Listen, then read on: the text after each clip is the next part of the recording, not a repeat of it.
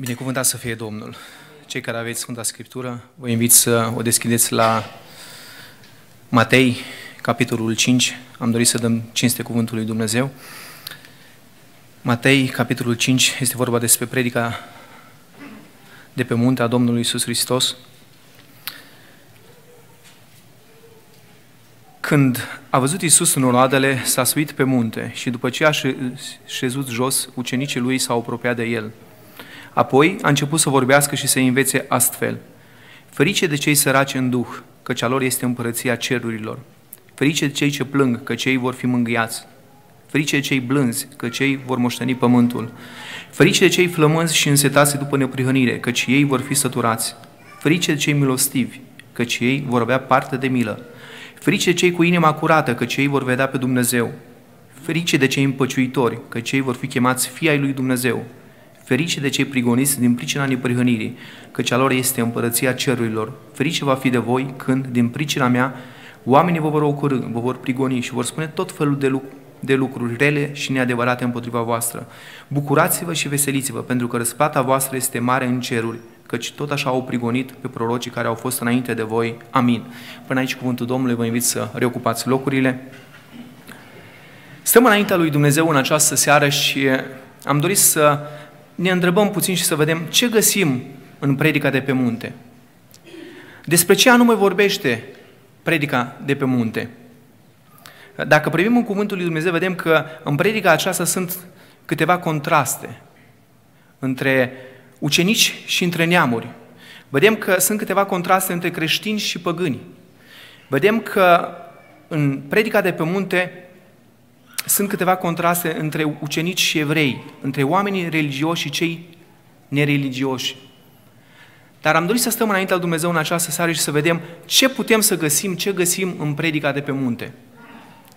Dacă ne uităm în toată predica de pe munte care, să, care este rostită de Domnul Iisus Hristos de la 5 până la 7, capitol, capitolul 5 și capitolul 6 și 7, vedem că aici găsim în predica de pe munte sisteme de valori creștine.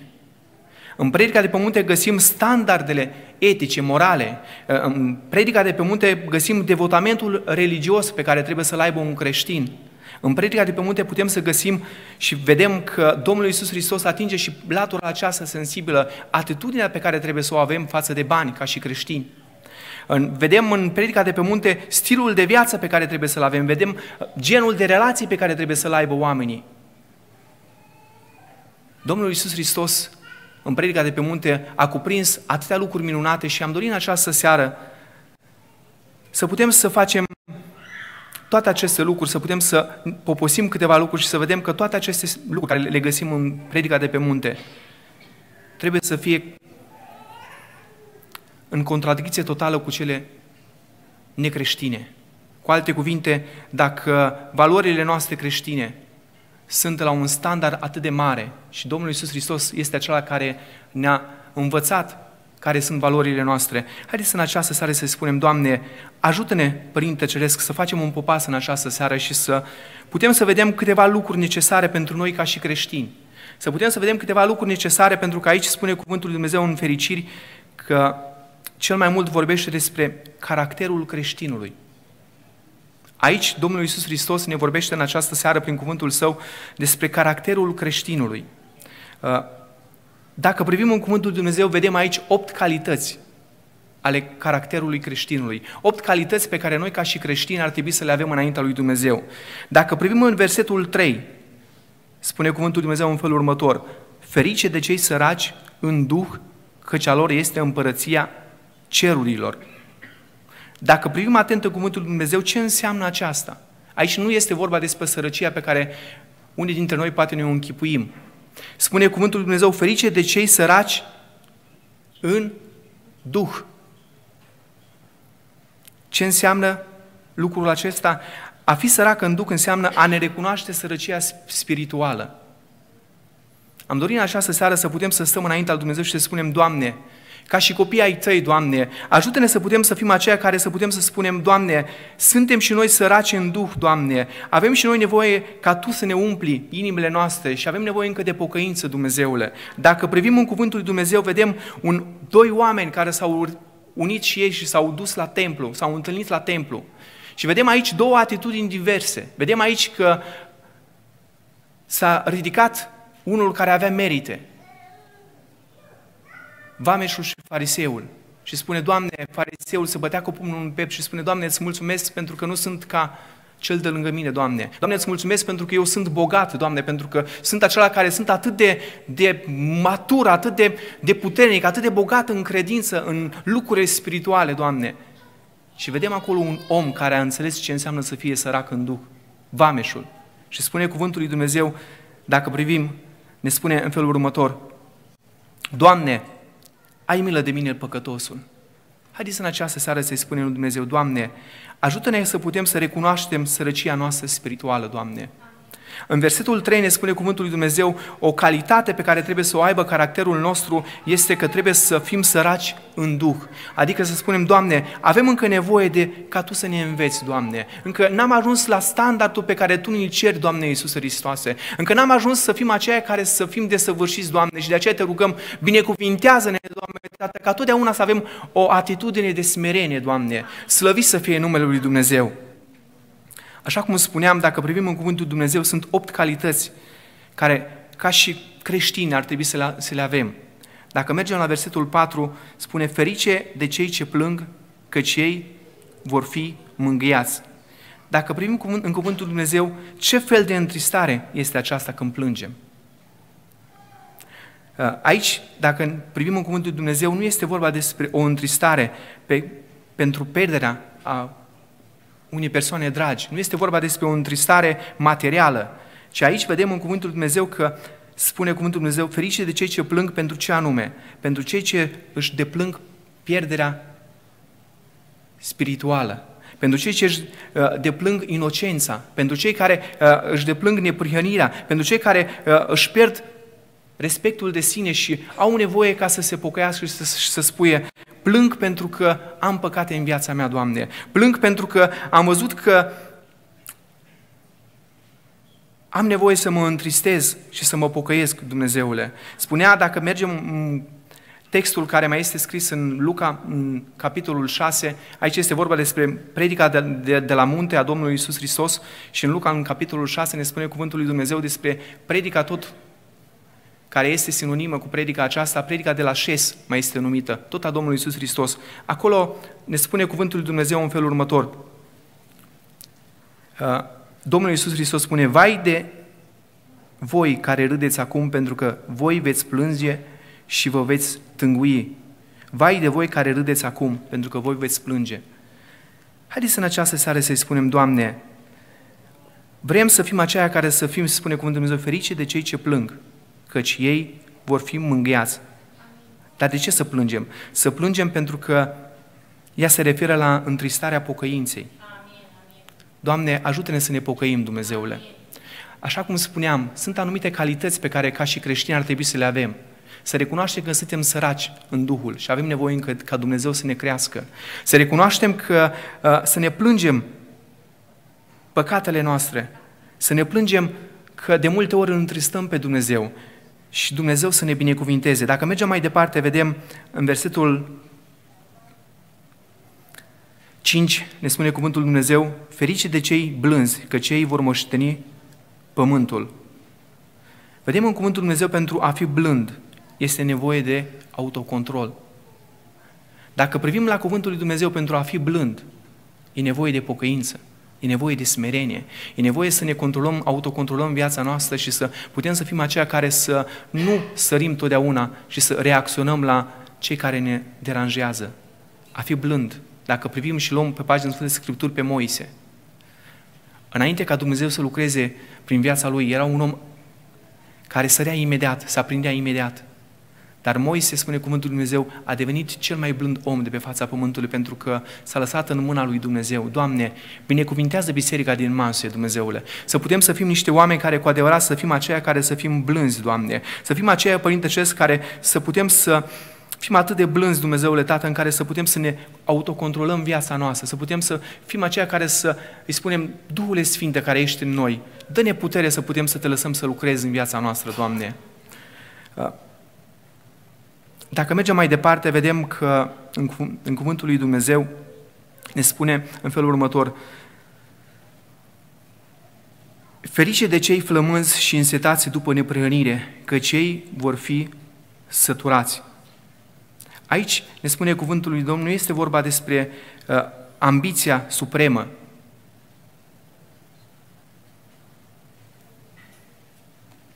a omului, a creștinului pentru lucrurile materiale. Și aici vedem în cuvântul Dumnezeu că ferice de cei flămânși și însetați după neprihănire. Doamne, ajută-ne ca ambiția noastră, Ajută-ne ca dorința noastră, Doamne, ajută-ne ca uh, în viața noastră, Dumnezeule Sfânt și minunat, să putem să avem și această calitate minunată, Doamne, să putem să avem o dorință bună pentru a putea să umblăm și să fim flămânzi și însetați după neprihănire, să fim flămânzi și însetați după casa lui Dumnezeu, să fim flămânzi și însetați după cuvântul lui Dumnezeu, să fim flămânzi și însetați după cer, pentru că aia ne spune cuvântul Dumnezeu, ferice de cei flămânzi și însetați după neprihănire, că cei vor fi săturați. Doamne, binecuvintează în această seară, Doamne, ca și calitățile acestea ale unui caracter creștin, să putem să le avem în viața noastră. Dacă privim în Cuvântul lui Dumnezeu și am putea să despartem aceste opt calități, primele patru calități se referă la viața noastră personală cu relația noastră cu Dumnezeu viața noastră personală cu relația noastră față de Dumnezeu. Dumnezeu să ne binecuvinteze, să putem să fim niște oameni săraci în Duh, niște oameni care să plângem pentru nestatornicia noastră, să plângem pentru păcatele noastre, să plângem pentru fără de legile noastre, să putem să fim niște oameni blânzi care să putem să spunem, Doamne, avem nevoie să ne mai controlăm viața noastră, Doamne. Avem nevoie ca în anumite domenii ale vieții noastre, Doamne, încă să fim aceia care să fim mai calmi, mai blânzi, să fim aceia care să înțelegem că de multe ori e mai bine să tacem. E mai bine de multe ori să nu mergem în anumite situații, în anumite locuri. E mai bine de multe ori atunci când vorbim în corturile noastre, în casa noastră, să ne gândim, așa cum altădată Domnul îi descoperea lui Elisei, de planurile pe care le făcea împăratul ca să meargă, să ne gândim și să spunem, Doamne, oare dacă mă aude persoanele pe care le vorbesc, oare cum arăt eu și cum voi fi înaintea Ta, Doamne? Ajută-ne, Doamne, în această seară să putem să avem aceste calități, să putem să avem un caracter creștin, un caracter care să spunem, Doamne, vrem ca Tu să luminezi viața noastră, vrem ca Tu, Dumnezeule Sfânt și Minunat, să fie acela care să ne întărești și să ne binecuvintezi, Dumnezeule. Dacă mergem mai departe, vedem următoarele patru calități pe care trebuie să le avem ca și creștini, că se referă la cei care sunt semenii noștri. Ferice de cei milostivi, că cei vor avea parte de milă. Ce înseamnă acest lucru? Cei milostivi. Mila, ne spune cuvântul lui Dumnezeu, este compasiune pentru oameni aflați în nevoie. Mila, ferice de cei milostivi. Nu putem să fim milostivi față de Dumnezeu. Dacă în primele patru calități pe care erau acolo în primele patru fericiri erau cu privire la atitudinea noastră pe care trebuie să o avem ca și creștini față de Dumnezeu. Aici, următoarele patru fericiri ne spune că milostenia trebuie să se vadă față de oameni. Milostenia trebuie să fie și să vadă față de cei care sunt în nevoie și Dumnezeu să ne dea o inimă largă pentru acest lucru. Dumnezeu să binecuvinteze biserica din Mansuie și să ne binecuvinteze să putem să fim oameni care să fim milostivi, plini de compasiune pentru oameni aflați în nevoie. Dacă privim mai departe în versetul 6, în versetul 8, ne spune cuvântul lui Dumnezeu în felul următor. Ferice de cei cu inima curată, că cei vor vedea pe Dumnezeu. Aici cuvântul lui Dumnezeu ne arată din nou că cei cu inima curată, e vorba despre o curățire interioară, E vorba despre a fi sincer, a nu avea viclenie față de oameni, a fi aceea care să putem să spunem cu adevărat, Doamne, inima noastră este curată și vrem să facem bine pentru semenul nostru, Doamne. Dacă mergem în Cuvântul lui Dumnezeu, în Psalmul 24, vedem aici ce înseamnă a avea o inimă curată. În Psalmul 24 cu 3 ne spune Cuvântul lui Dumnezeu în felul următor. Cine va putea să se suie la muntele Domnului? Cine se va ridica până la locașul lui cel sfânt? Cel ce are mâinile nevinovate și inima curată, cel ce nu-și dădea sufletul la minciună și înjură ca să înșele, acela va căpăta binecuvântarea Domnului. Starea după voia lui, voia lui dată de Dumnezeu mântuirii lui. Iată partea de moștenire a celor ce îl cheamă, a celor ce caută fața ta, Dumnezeului lui Iacov. Dacă privim aici, spune, cine va putea să se la muntele cel sfânt? Ne spune cuvântul cel ce are mâinile nevinovate și o inimă curată. Cel ce nu-și dă sufletul la minciună, nu jură ca să înșele. Pe cine să înșele? Pe semeni. Să înșele pe cel care este de lângă el. Doamne, ajută-ne să putem să avem o inimă curată, Doamne. Când suntem în relațiile cu cei de lângă noi, Doamne, să putem să privim prin prisma Evangheliei și să spunem, Doamne, aceste calități care sunt, Doamne, ajută-ne să fie niște calități pe care să le avem și noi, Doamne. Poate unii dintre noi ne întrebăm, dar predica de pe munte este o predică autentică? A fost oare rostită de Domnul Isus Hristos? Unii dintre teologi uh, declară că predica de pe munte a fost o colecție pe care de multe ori a făcut-o Matei și a pus mai multe predici împreună. Dar ceea ce vrem noi în această seară să înțelegem și să rămânem la Cuvântul lui Dumnezeu, dacă aici specifică că Dumnezeu, Domnul Iisus Hristos a predicat predica pe munte, eu cred că avem de învățat și să o acceptăm așa cum este ea. Predica de pe munte ne învață să putem să fim niște creștini cu adevărați. Predica de pe munte ne învață să o rupem cu păgânătatea. Predica de pe, de pe munte ne învață și ne spune că, ca și creștini, trebuie să avem anumite calități. Ca și creștini, trebuie să putem să avem un caracter care să semene cu Domnul Isus Hristos, să fim oameni plini de pasiune pentru semenii noștri, să fim oameni care să fim cu o inimă curată, împăciuitori. Dacă mergem la versetul 9, ne spune Cuvântul Dumnezeu, cu Ferice de cei împăciuitori, că cei vor fi chemați fii ai lui Dumnezeu. Aici, Cuvântul lui Dumnezeu ne, ne arată că de multe ori, când intrăm să împăcăm pe cineva, de multe ori avem de suferit. De multe ori, mulți dintre noi nu dorim să ne băgăm, să fim acei oameni care să împăcăm pe cei de lângă noi. Dumnezeu să ne binecuvinteze și cu această calitate a unui creștin. Să putem să spunem, Doamne, chiar dacă risc să fiu certat, Doamne, chiar dacă risc, Doamne, Tată, de multe ori să fiu vorbit de rău, Doamne, chiar dacă risc să fiu batjocorit, Doamne, totuși te rog, Doamne, ajută-mă să am și eu această calitate ca și creștin al Tău, Doamne. Să fiu un om care să fiu împăciuitor, Doamne, să fiu un om care să pot să aduc pace în inimile oamenilor. Pentru că cei care sunt în ceartă nu mai au pace unul cu celălalt. Și mai mult decât atât, pacea dacă nu o au, nu mai poate să aibă și relație cu Dumnezeu, o părtășie cu Dumnezeu. Dumnezeu să ne binecuvinteze să putem să fim aceia care să avem și această calitate în viața noastră. Dacă mergem în Cuvântul lui Dumnezeu, vedem în versetul 10 până la 12, a opta calitate pe care trebuie să o aibă un creștin, ne spune Cuvântul lui Dumnezeu în felul următor. Ferice de cei prigoniți din pricina neprihănirii căci a lor este împărăția cerurilor. Ferice de cei prigoniți din pricina neprihănirii. Persecuția ne spune de multe ori cuvântul lui Dumnezeu că ar putea să fie un certificat a caracterului nostru ca și creștin. Persecuția de multe ori uh, poate să arate credința pe care o avem în viața noastră ca și creștini. Poate să, arăt, să arate maturitatea pe care putem să o avem. De multe ori, unii dintre oamenii care au fost persecutați s-au lepădat de credință. Haideți în această seară să spunem, Doamne, ajută-ne să putem să fim niște oameni care, atunci când dacă va trebui să fim prigoniți din pricina Ta, Doamne, să rămânem cu un caracter tare, Doamne, cu un caracter sfânt și plăcut înaintea lui Dumnezeu. Așa cum spuneam, primele patru lucruri, primele patru calități pe care sunt în fericiri se referă la relația noastră personală față de Dumnezeu. Celelalte patru fericiri se referă la relația noastră față de semenii noștri. Cei milostivi, asta înseamnă compasiune pentru oameni. Cei cu inima curată, asta înseamnă fără răutate pentru oameni. Împăciuitori, oferind de multe ori pacea interioară oamenilor. Prigoniți, asta atunci când suntem prigoniți și atunci când, când mulți dintre creștini au fost prigoniți, au trebuit să ierte. Dacă privim doar la exemplul Domnului Isus Hristos, Vedem că El era pe cruce, era prigonit, era răstignit. Și Domnul Iisus Hristos ne învață și, și ne spune, Doamne, prin rugăciunea pe care a făcut-o, nu le ține în seamă, Doamne, nu le ține în seamnă păcatul acesta.